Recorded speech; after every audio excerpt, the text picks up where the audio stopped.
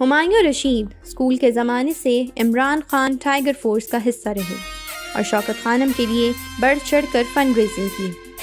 खान साहब की शख्सियत से मुतासर होकर 2014 में अमली सियासत में हिस्सा लेने का फैसला किया।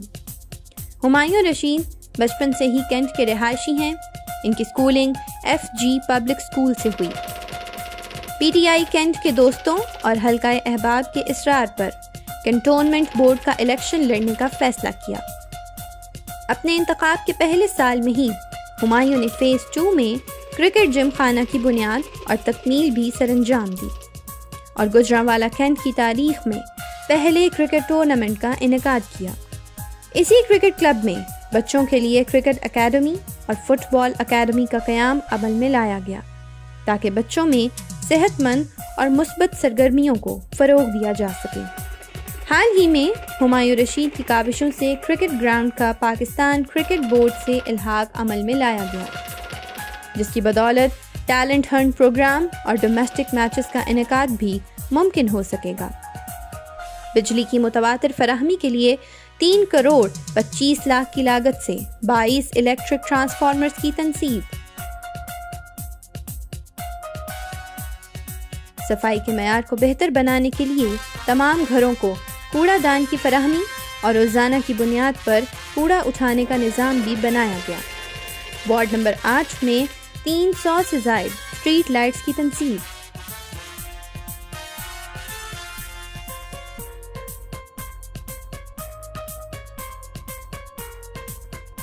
फ़ेज़ टू में मेन इकबाल पार्क और इसमें वॉकिंग ट्रैक की तामीर।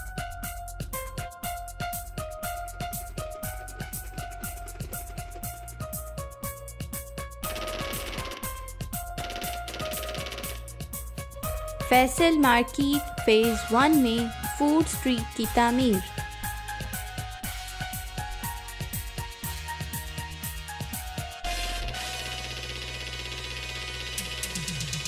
बाज़ार एरिया में चिल्ड्रन पार्क की तमीर और बच्चों के लिए नए झूलों की तनसीब।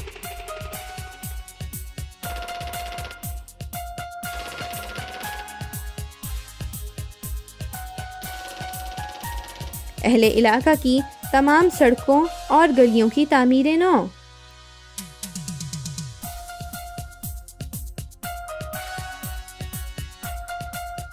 फ़ेज़ टू में सरकारी पानी के लिए टंकी की तामीर।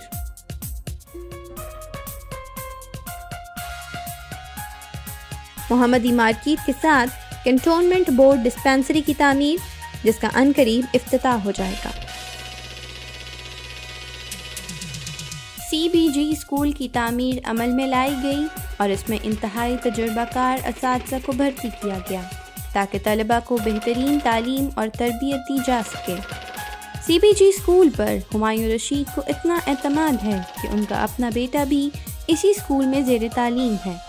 ये इस बात का अमली सबूत है कि हुमायूं रशीद की जड़ें इस इलाके से मुंसलिक हैं। कंटोनमेंट जनरल हस्पताल की तोसी और कोरोना वैक्सीनेशन सेंटर का कयाम।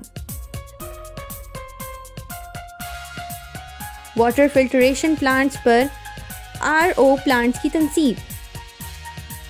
और इस जैसे कई एक मंसूबे हुमायूं रशीद की खदमात का हिस्सा हैं। हम चाहते हैं कि खदमात और कामयाबियों का ये तसलसल यूँ ही बरकरार रहे।